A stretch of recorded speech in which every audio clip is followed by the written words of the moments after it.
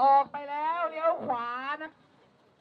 ထိုင်းဆန္ဒပြသူတွေကစက်တင်ဘာလ20ရက်နေ့ကသူတို့ရဲ့ဆန္ဒသဘောထားတောင်းဆိုချက်စီးရင်တစ်ခုကိုတင်ပြဖို့အတွက်ဘန်ကောက်မြို့တော်ဝင်နန်းတော်နဲ့မျက်နှာချင်းဆိုင်မှာရှိတဲ့ဘရင်အကြံပေးအဖွဲ့ကောင်စီရုံးစီခြိတက်ခဲ့ကြပါတယ်။ ဆန္ဒပြသူတွေဟာနှစ်များစွာအတွင်းအကြီးဆုံးသောဆန္ဒပြပွဲကြီးတစ်ခုကိုလှုပ်ဆောင်ပြီးနိုင်ငံမှာမကျော်လွှားနိုင်တဲ့ဘရင်စနစ်နဲ့ပတ်သက်လို့ပြုပြင်ပြောင်းလဲမှုတွေလှုပ်ဆောင်မှုတောင်းဆိုခဲ့ကြပြီးတဲ့နောက်အခုလိုမျိုးဘရင်အကြံပေးအဖွဲ့ကောင်စီရုံးစီချီတက်ခဲ့ကြတာပါ။ ဘင်းကြံပေးကောင်စီအတွက်စာလက်ခံရယူသူဘန်ကောက်ရဲဌာနအကြီးအကဲဗိုလ်ချုပ်ကြီးပါကာပေါင်အနေနဲ့ကျမတို့ရဲ့တောင်းဆိုချက်တွေအတိုင်းဆက်လုပ်ပေးမှာလားမလုပ်ပေးဘူးလားဆိုတာကိုကျမတို့ဒီမှာစောင့်ကြည့်သွားမှာပါရှေ့ဆက်လုပ်ရမယ့်ဟာတွေလုပ်သွားပါမယ်တကယ်လို့တိုးတက်မှုမရှိဘူးဆိုရင်ကျမတို့ပြန်ထွက်လာကြအောင်ပါပါလို့တက်ကြွလှုပ်ရှားသူအမျိုးသမီးတဦးဖြစ်တဲ့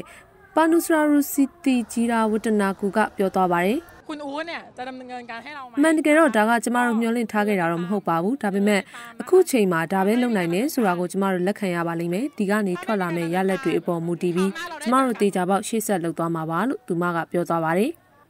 I think it's it's the first step of mixed ဒါကပထမအဆုံးသောအောင်ပွဲတစ်ခုဖြစ်တယ်လို့ကျွန်မထင်ပါတယ်။ဘာဖြစ်လို့လဲဆိုတော့ပြည်သူတွေနိုးထလာကြပြီဆိုတာပြည်သူတွေအားလုံးသိနေကြလို့ပါလို့လဲအသက်20အရွယ်ချူလာလောင်ကွန်တက္ကသိုလ်ကျောင်းသူတဦးဖြစ်တဲ့နာပါဆွန်စာအန်ဒူအန်ကပြောသွားပါတယ်။သိကြပါတယ်တရားရဂိုင်နှုန်းမှာပဲကျမတို့ပြန်လာမှာပါကျမတို့အသက်ရှိနေသူပြန်လာမှာပါလို့လည်းသူကဆက်ပြောသွားပါတယ်။ စက်တဘာလ20ရက်နေ့မှာတော့ထိုင်းတက်ကြွလှုပ်ရှားသူတွေဟာမော်ကွန်းထိုးရတဲ့ကြောက်ပြားတစ်ချက်ကိုတက်ဆင်ရင်ထိုင်းနိုင်ငံဟာထိုင်းပြည်သူတွေပဲပိုင်ဆိုင်တယ်လို့ကြေညာသွားခဲ့ကြပါတယ်။ဒါကတော့နိုင်ငံမှာဘရင်ရဲ့အခမ်းကဏ္ဍနဲ့ပတ်သက်လို့မေးခွန်းထုတ်နေတဲ့လူငယ်တို့ဦးဆောင်တဲ့ဆန္ဒပြလှုပ်ရှားမှုမှာအရေးရင်ဆုံးသောဖီဆန်မှုတစ်ခုလည်းဖြစ်ခဲ့ပါတယ်။ထိုင်းနိုင်ငံမှာတော့ဝင်းကြီးချုပ်ပရာရွတ်ချန်အိုချအစိုးရနှုတ်ထွက်ရေးတောင်းဆိုတဲ့ចောင်းသားတွေဦးဆောင်တဲ့ဆန္ဒပြပွဲတွေဟာပြီးခဲ့တဲ့နှစ်လအတွင်းနေတိုင်းနှီးပါမြင်တွေ့ထားခဲ့ရတာပါ။